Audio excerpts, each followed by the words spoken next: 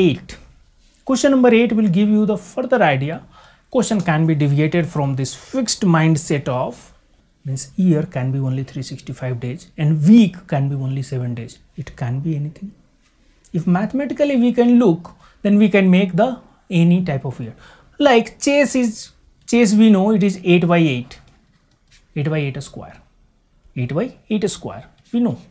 But in mathematics in pnc we are making any kind of chess 10 by 10 12 by 12 even 12 by 10 just to understand the mathematical and mathematical concept behind that. Similar way here this question is based on the different type of calendar. Suppose a calendar made of 444 days and a 9 days in a week.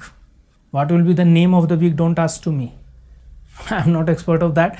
Sunday monday tuesday 7 days we know but here it is 9 days in a week. Find the number of odd days number of days will be very simple. There will just a division of by say, division by how many days falling in the week. For 365 days 7 days in a week then we are just doing 365 by 7 or if it is a leap year 366 by 7 but in place of that if it is 444 then what we have to do? 444 how many days are in a week? 9 just we take the remainder.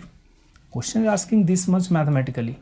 Number of days 444 odd days 444 by 9 number of odd days 3 now here we cannot say 3 means wednesday this must be careful if question they can deviate.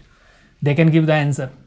If one of the calendar is there which are having 444 days and 9 days in a week then you get then uh, which day will be fall? Then here meaning of 3 will not wednesday because 3 is wednesday if number of days in a week is 7 here here name may be something different because nine names will be there. Which day where it will be there we don't know. We don't have any information.